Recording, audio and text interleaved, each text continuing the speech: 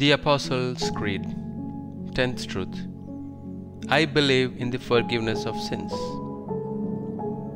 These words mean that Christ has given to His church the power to forgive sins. God alone possesses of His own authority this power to forgive sins. In the Old Testament, He kept it to Himself. In the New Dispensation, God, having become man, Christ as man, His divinity having thereby become intimately united to His humanity, possessed the power of forgiving sins, and in His role as the Saviour exercised it whenever He chose to do so. And this He did frequently.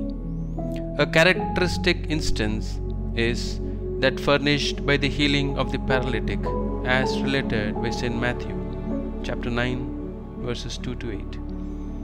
And behold, they brought to him one sick of the palsy lying in a bed. And Jesus, seeing their faith, said to the man sick of the palsy, Be of good heart, son, thy sins are forgiven thee. And behold, some of the scribes said within themselves, He blasphemeth. And Jesus, seeing their thoughts, said, Why do you think evil in your hearts? Whether it is easier to say, Thy sins are forgiven thee, or to say, Arise and walk. But that you may know that the Son of Man hath power on earth to forgive sins. Arise, said he to the man sick of the palsy, take up thy bed and go into thy house. And he arose and went into his house. And the multitude, seeing it, feared and glorified God that gave such power to men. In His goodness, our Lord, while still in this life, conferred this power on Saint Peter, and on the day itself of his resurrection, also on all the apostles, and through them on their legitimate successors. Read the following passages from St. Matthew and John. And Jesus came into the quarters of Caesarea Philippi, and he asked his disciples, saying, Whom do men say that the Son of Man is?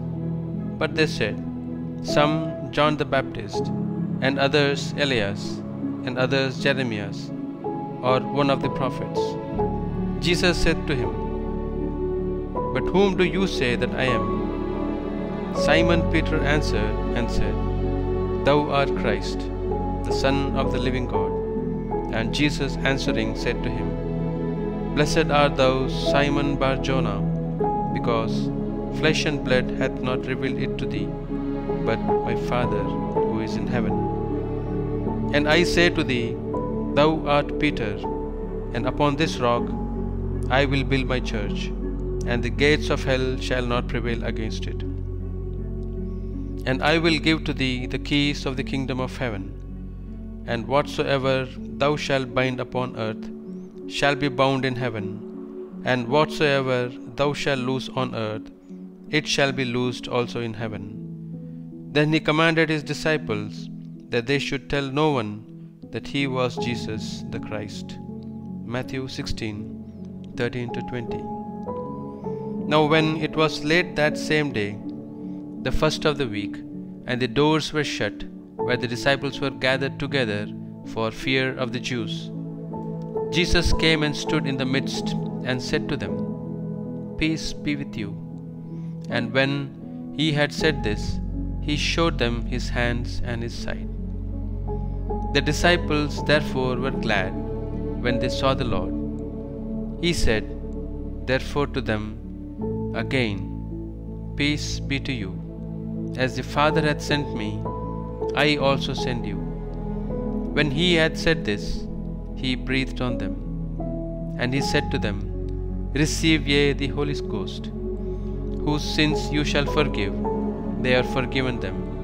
And whose sins you shall retain, they are retained. John chapter 20, verses 19 to 23. By virtue of these concluding words, there is no sin, however great, which cannot be remitted by the Church. Just as she has also the power of retaining it by refusing absolution to penitents not in the proper disposition for it. More than this, the sins that have been remitted by the Church have no further existence of any kind, they are entirely effaced. There can be no forgiveness of sins outside the true Church, for there is salvation and remission of sins only within the fold of the one and only true Church. The Church remits sin principally through the sacraments of baptism and penance.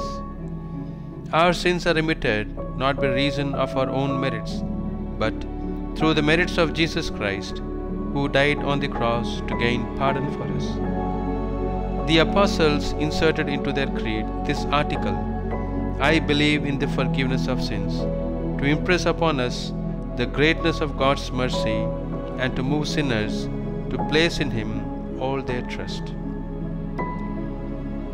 The Catholic doctrine of the forgiveness of sins seems to be a great stumbling block to the Protestants and yet among Anglicans. The bishop, when ordaining a person, addresses to him the very word, Whose sins you shall forgive. In their communion service, people with troubled consciences are exhorted to go and open their grief to some clergyman so that they may receive absolution, and dying persons are required to be moved to make a special confession of their sins. Explanation of the plate The picture shows our Lord handing over to Saint Peter the keys as a token of the power he was conferring on him of remitting or retaining sins.